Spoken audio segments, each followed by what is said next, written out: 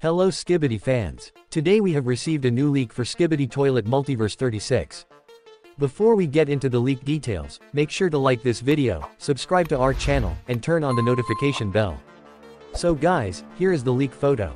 In this image, we are seeing Titan TV Man. From the looks of it, we're going to see some action from Titan TV Man in the next episode.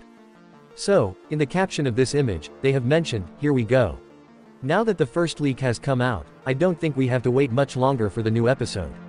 Episode 36 will most likely release within 3 days. So, everyone, that's the ending for this video. Don't forget to write your theories in the comments, and I'll catch you in the next video.